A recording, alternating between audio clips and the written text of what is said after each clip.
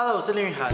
那这部影片发布的时候，应该已经大年初二了，所以就先跟大家说一声新年快乐。那因为过年这几天放假的关系，所以我就来分享一个前几个礼拜做的东西。那前几个礼拜我们刚好有机会去带一个小学二年级的课程，这个课程是要带他们做一个 Automata 的机构玩具。所以为了这个课程，我要做一个很简单的教具，可以让他们很轻松的体验各种凸轮的效果。所以这个教具最后长这个样子。那我们就赶快来看一下制作过程吧。首先要做的是这次作品的关键，我用 3D 列印做了两个可以放入 M4 螺丝跟螺帽的套筒，这样小朋友到时候就可以靠手旋转两个套筒来更换要夹在中间的凸轮。但这部分完成之后，我们就先来组装盒子的部分。由于这次是要制作教材，不是产品，所以尽量把东西做得比较坚固一点。所以我这里的把手就直接用螺丝来当做转轴的零件。那固定的部分也因为不用追求美观，直接用三秒胶粘着就好了。而把手这边理论上应该要用紧箍螺帽来做固定，比较不会在多次旋转之后松脱。但是我用了更简单的方法，就是直接在上面挤一坨热熔胶，这样也可以达到相同固定的效果。再来盒子的部分就蛮直接的，四片木板固定后，再用三秒胶粘着。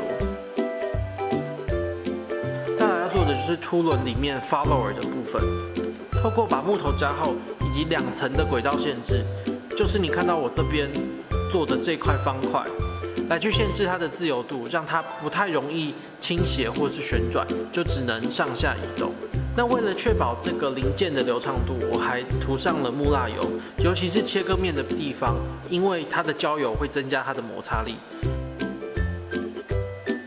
测试没问题之后，我在 follower 的两边都放上了一个圆形的挡块，这个主要是限制它的移动，也不会在拆装的过程中从盒子上掉下来。那最后就是要做转轴的部分，直接比对盒子上做画记，再拿去线锯上处理。把切好的木棒塞进一开始做的 3D 电影套筒之后，再用三秒胶把它固定起来，这样大体上就完成了。到时候只要把小朋友自己用 PP 板或是木板做的凸轮放进去，再把螺丝转起来之后，就可以测试了。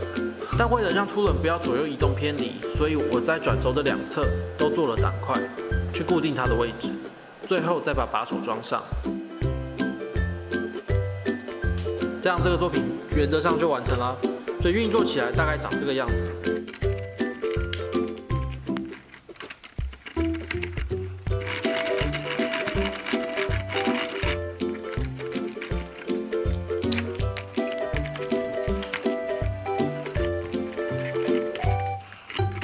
但是我们在实际拿去上课的过程中，有做了一些修改。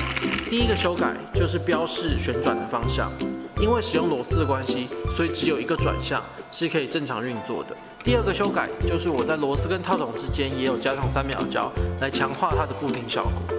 最后，当然为了让这个作品看起来不要那么无聊，所以我就拿了一些在网络上抓的 3D 模型，把它粘到。follower 的上面做这件事情，的确就大幅增加小朋友对这个玩具的兴趣。看完这个影片。那这个教具实际上操作的时候，我觉得还算蛮顺利的啦。但是有两个问题比较讨厌。第一个问题就是因为螺丝的方向的关系，所以呢，它把手其实只能往某一个方向旋转，另外一个方向的话，它会越转越松。那第二个问题其实是螺丝，虽然我螺丝已经选的蛮短了，大概只有十米米吧，但是对小朋友来说，转那个螺丝还是蛮麻烦的。所以目前还在想说转轴连接的部分到底可以做怎样的修改。那目前有一些想法，就是把它换成磁铁啊，或是其他的固定方式。那大家如果有什么想法的话，欢迎在下面留言分享给我。那这礼拜影片就这样啦，我们下礼拜三见，拜拜。